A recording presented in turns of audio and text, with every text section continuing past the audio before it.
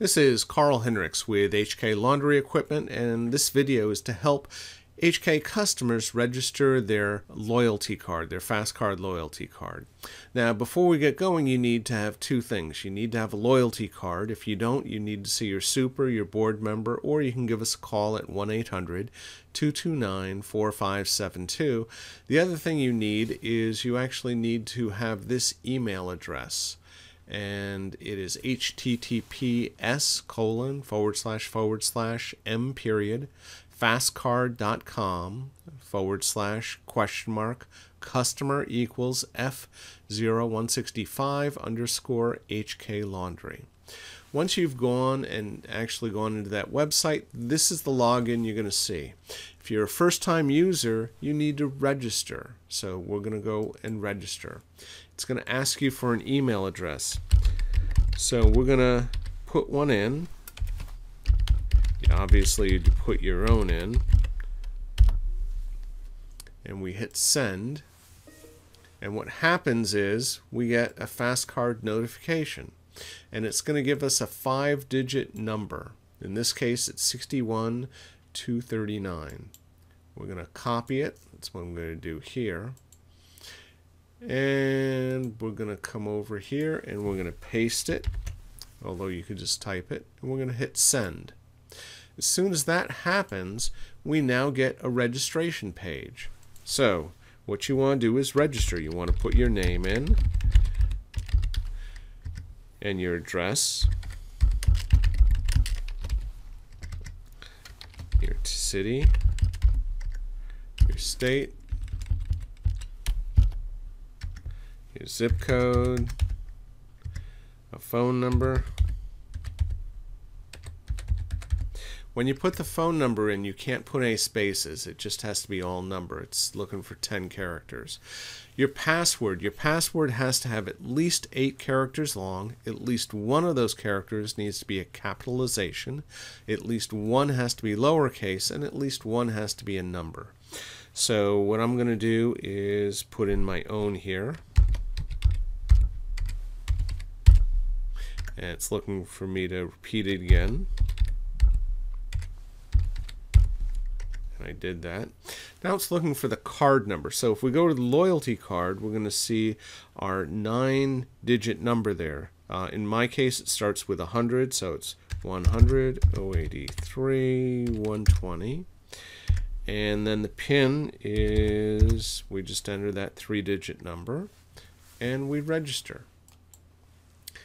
Okay, my account has been created. So now I come back to this login screen again. So we have to put in your email address. And my password or your password that you just put together. And you want to remember me. The other thing you want to do is you really want to bookmark this. So you want to bookmark this website because you're going to be coming here a lot, either to reload your, your credit card, see activity. You want to be able to just find it fairly easily. So once we've all done that, I like to remember my password and then I log. This is the screen you're going to see. The first page here, when we go to accounts and add value, this is where you would actually put in your credit card information. The name on the card, the card number, the expiration, the CV code, billing zip code.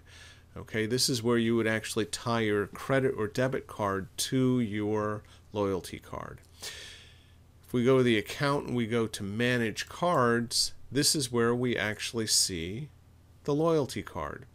At this point, we can delete it. We can also add another one and a PIN number. Account information is exactly what I typed in.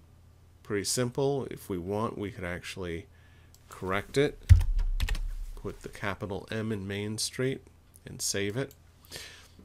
Okay, we can take a look at our card activity.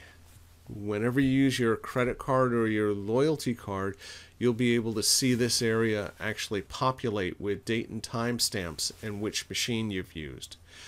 Uh, we can also go to settings and you can email We can have the system email me when my cycle and you know nears completion. That's really cool. You can also put an auto reload in too, so that uh, periodically once a month, if you know you're going to be spending twenty dollars every month on laundry in laundry, then you can just have an automatic debit of your credit card for whatever amount you want on a monthly basis.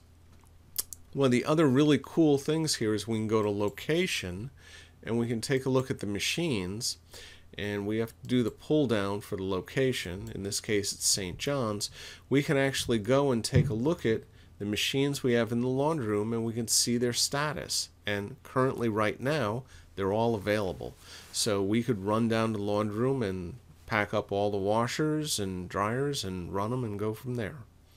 So hopefully you found this interesting and, and helpful.